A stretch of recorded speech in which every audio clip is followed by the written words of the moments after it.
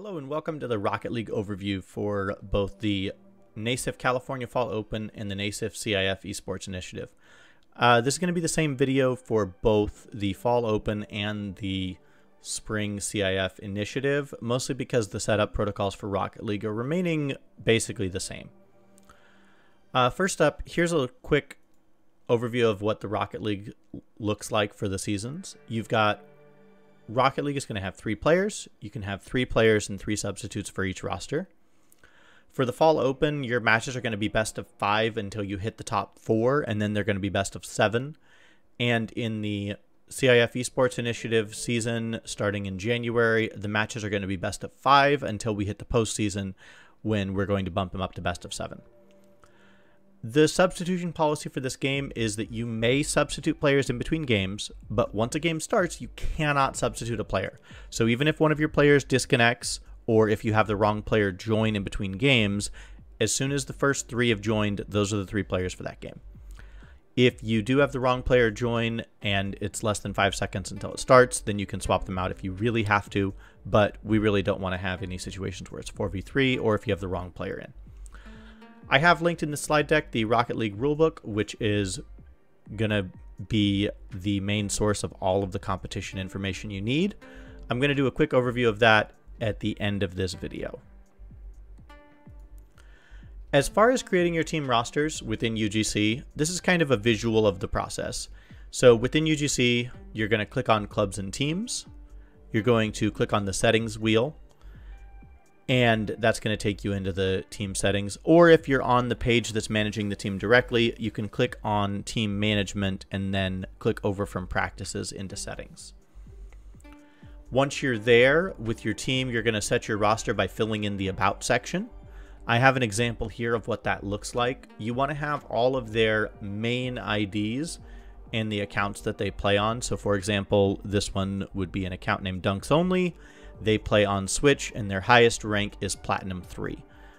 So make sure that you can have their names and ranks. You can look these up on rocketleague.tracker.network and kind of just verify that your players are who they say they are and that they have the IDs that they mentioned.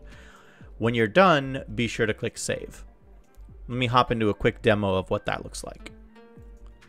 So from the main UGC page, you've got your communities that you're following and then the links here. So I'm going to navigate to clubs and teams. I'm going to go down and I'm going to find my Rocket League team. And you're welcome to update these headers as you see fit. Um, I just have them named here because it's easier. You're going to click on this little settings wheel right here. And then under details, I'm going to go down. I'm going to quickly adjust my team nag, team name to ACMS Rocket League. Uh, you can just make it the acronym of your school if you want. And then you just go in and you edit your roster right here. Now, this is just a text field where you can type things in. You can put test player, whatever their names are. And then once you've put that in, we kind of want to follow the same format. Name, platform they play on, and then their highest ranked account. So you can put your roster and then your substitutes, and then click save and then it should populate this. If you want to see what the Rocket League Tracker website looks like, you can go ahead and pop this up in here. Depending on which one you are searching for, you can search based on their Epic Games platform, their Steam username, Xbox Live, PlayStation Network, whatever. I think mine is this, just to kind of show you what that looks like. Maybe it's here.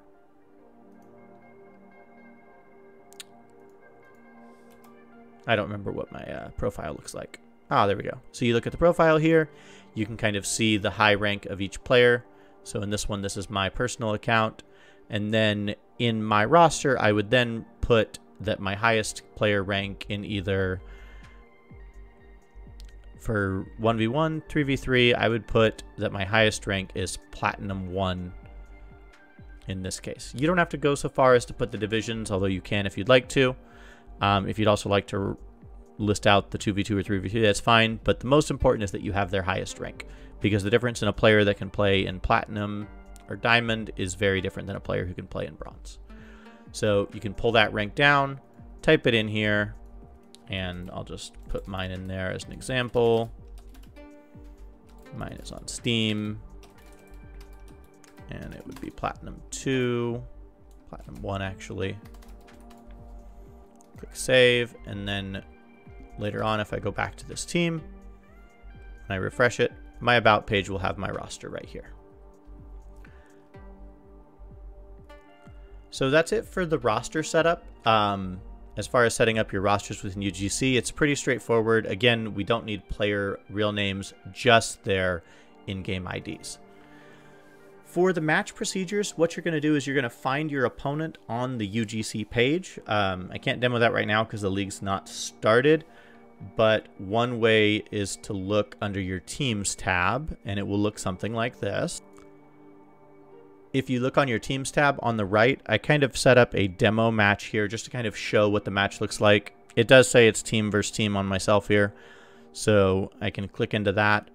Um, once we have the Discord link initiated, initiated, you'll be able to click View Discord, and you'll be able to see the coach Discords here.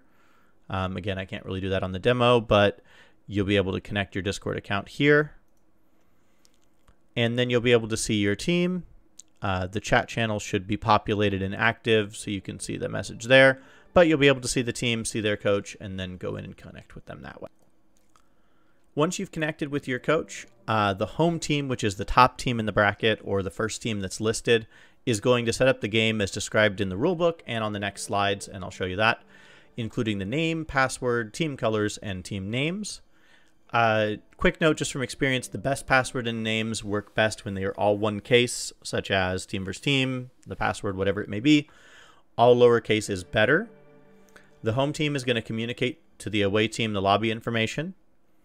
Once both teams are all in the lobby, including the spectators, the teams will join the sides simultaneously. Um, you can coordinate this using on demand voice channels or in Discord, or what most of our teams do is they just watch for the other team to join. Once you see one team join the other side, your whole team should jump in immediately. All players need to join within the first five seconds and before contact is made with the ball. Otherwise, the game needs to be remade. I'm going to cut to a short video here that kind of demos that. Here's a clip of what teams joining the game will look like. Um, once you have the team set up, you'll see eight players or six in the lobby, depending on if you have spectator accounts or not. Once the teams see all of them in the lobby, the process will sort of look like this. I've got a recording that is muted. So what's going to happen is they'll watch for it, and then when one team sees the other one, all three join, then the other team will all three join. And then afterward, the spectator can hop in, they can click spectate, and then they will join into the game, and then the game will begin. Sort of like this. Uh, game settings as described in the rulebook are all listed right here. You've got DFH Stadium or any of the other arenas that are listed down below. Uh, lobby name, team size, bot difficulty. All these settings are here in the rulebook. You can also see a visual of what that looks like when you go to create a private match. I'm going to demo that in just a second, but you'll have soccer, DFH, 3v3, no bots, US West. You'll set the name and password. The team settings, if you're setting up the teams based on colors, you're going to set home team, away team with their school colors if you want to use that, or just use the default colors for home and away. Uh, don't set it up to any odd names or inappropriate names or any colors that are other than the school colors or the default. And if a team wants to use default colors, then you'll just remake the lobby with that. Uh, the mutator settings, these should just be default. Uh, the one thing that you'll want to make sure is that the series length, uh, you can technically set it to five games and then play out your best of five, or set it to seven games and play out your best of seven. But what we found is that if there's an error in the game, or if one of the games becomes invalid for a reason that both coaches agree, you don't want to have to go completely remake the whole lobby. Um, so we found that just setting the series length to unlimited and then keeping track of the games won has been the best way to do that. Uh, five minute match settings, defaults, everywhere else. Make sure none of these mutators are off. Any of these mutators that are off or changed from the default are going to result in the game being invalid. These include gravity, extra boost, ball bounciness, any of those things that kids like to play in custom games. A quick overview of our expectations. We really want to minimize forfeits and teams that are tardy, and we're also trying to be respectful of the other team's time. So in the rulebook, this is laid out more thoroughly, but if your team is 10 minutes late to the start of their games, they're going to forfeit the first game of the set. And if your team is more than 20 minutes late to the start, they will forfeit the entire week. Um, if a team forfeits multiple times during a season, they may be barred from future competitions or just have that team not allowed to compete. Uh, as far as Rocket League goes, you may use in game emotes, but again, excessive spam and bad manners can result in disciplinary action.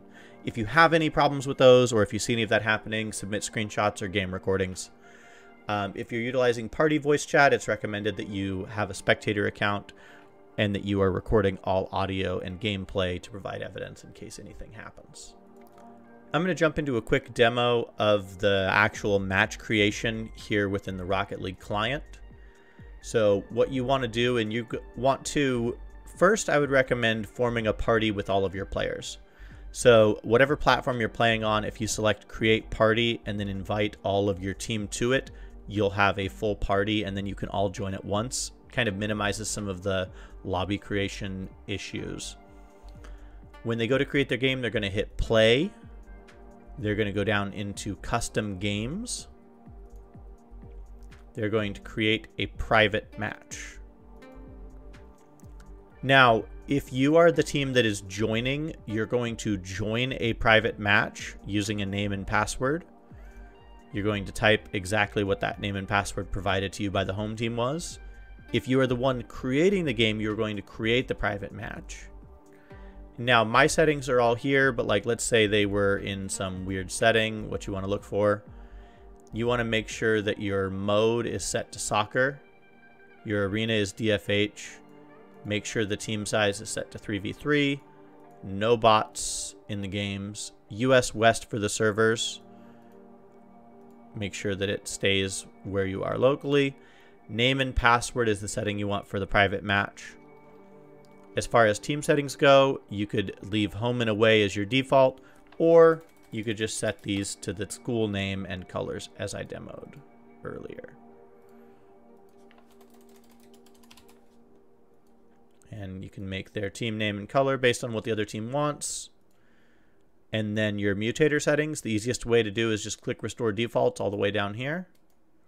And it should set back to whatever the default games are. As I was mentioning, you can set the series length to best of five or best of seven. But again, if you have a match that becomes invalid for some reason and both coaches want to remake, then you don't want to have to keep, you don't want the series to end without being able to recreate it. Um, what's going to happen is you're going to then join you're going to create the match. You're going to communicate to the other team that the lobby is ready, and then they will join in. I'm hoping this has been helpful. Um, again, if you have any questions, feel free to email me. This slide deck, along with the links, is here on the bit.ly link right here. I recommend joining the office hours. And I did mention I was going to do a quick overview of the rule books and where those can be found. So if you're on the NASEF page right here and you scroll down and find Rocket League, the Fall Open League uh, Open rulebook is right here. The one for CIF is here. They are very, very similar for Rocket League. There's not a whole lot of differences between the two titles. Um, I did try to keep the branding pretty clear so you know which one you're looking at. The big differences come in terms of eligibility and the difference in the fall being a double elimination tournament and the spring, which is 10 weeks or 10 rounds of competition. Uh, as you go through here, I'm just going to do a quick high level overview of this. Um, it's got kind of a one page summary of what the match protocols look like. You've got links to your tech equipment. Event timelines are in here as well. A quick reminder, please make sure you can commit to playing on the default time. Do not rely on reschedules in order to participate. Uh, team registration information, all of it is in here. Uh, tech requirements, the dates, you need to have your roster listed. This is going to be the guidebook for all of the questions that you may have. If you have questions on the tournament format or the team size, uh, how you list on your roster, how you schedule, the forfeit protocols, rules on in person. You can play in person or remote, it's up to your school site. Uh, you need to start communicating at least 24 hours prior to the start of your match with your opponent um, whenever possible. Uh, there's rules on communications here. You should, if you can, utilize the on demand voice channel within Discord. It's kind of the expected means of communication between the teams. Um, if you if you have an opponent that doesn't respond to communication, the protocols for that are listed in here. Uh, lobby setup, all the settings are here. The list of all the arenas that you can choose from are listed here in the rulebook. The match play protocols, the flow is basically how I listed earlier. It's pretty straightforward for Rocket League. Um, you've got rules regarding restarts. You can't have AIs. You can't start the game with less than three players. Um, if your game lasts more than 30 seconds and then a player disconnects, then it is considered valid. The disconnected player can return, but no substitution can return. Uh, this should cover pretty much all of the if this happens, then that happens questions. It is recommended that you have at least two substitutes.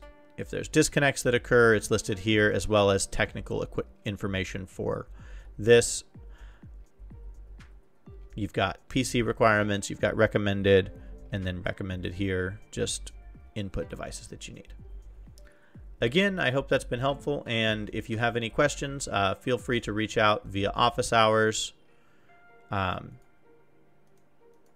feel free to reach out via office hours. They're all listed on the website, and reach out via email if you have any further questions. Thanks, I hope this has been helpful.